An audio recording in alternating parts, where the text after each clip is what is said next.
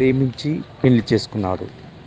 ఆ తర్వాత తన తన స్వయం గ్రామానికి వచ్చి ముఖం చాటేసుకున్న ఘటన సంగారెడ్డి జిల్లా కల్లేరు మండలంలో చోటు చేసుకుందని చెప్పుకోవచ్చు.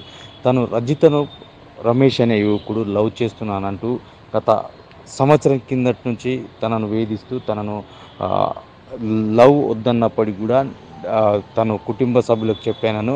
నేను ఎలాగైనా సరే నేను పెళ్ళి చేసుకుంటానని చెప్పడంతో తను సంవత్సరం క్రితం హైదరాబాద్లో ఉంటూ హైదరాబాద్లో ఉంటూ ఈ రజితను పరిచయం చేసుకుంటూ త- పరిచయం చేస్తూ తను లవ్ చేస్తున్నానని చెప్పేసి అనడంతో అప్పటికి ఆ రజిత కూడా మీకు నాకు మీకు మాకు కుదరదని చెప్పినప్పటికి కూడా తను ఎలాగైనా సరే నిన్ను పెళ్ళి చేసుకుంటానని చెప్పడంతో పెళ్ళి చేసే సంవత్సరం క్రితం పెళ్ళి చేసుకున్నాడు. ఈ నేపథ్యంలో గత మూడు రోజుల కిందట కూడా కేవైసీ కోసం ఏదైతే రేషన్ కార్డు గ్రామాలలో కేవైసీ ఇస్తున్నారో ఆ నేపథ్యంలో ఆ రజితకు చెప్పేసి తన స్వయగ్రామం తిరిగి వచ్చాడు. అంతలోనే తన ఫోన్ బ్లాక్ లిస్ట్లో పెట్టడంతో రజిత స్వయ తన భర్త స్వయగ్రామానికి వచ్చేసి రెండు రోజుల పాటు ఇంట్లో కుటుంబ సభ్యులతోటి ఉండడం ఉండడంతో ఇంట్లో కుటుంబ సభ్యులు ఒకేసారిగా అందరూ కలిసి కట్టుకట్టుగా కలిసి తాళం వేసి అక్కడి నుంచి వెళ్ళిపోయారు.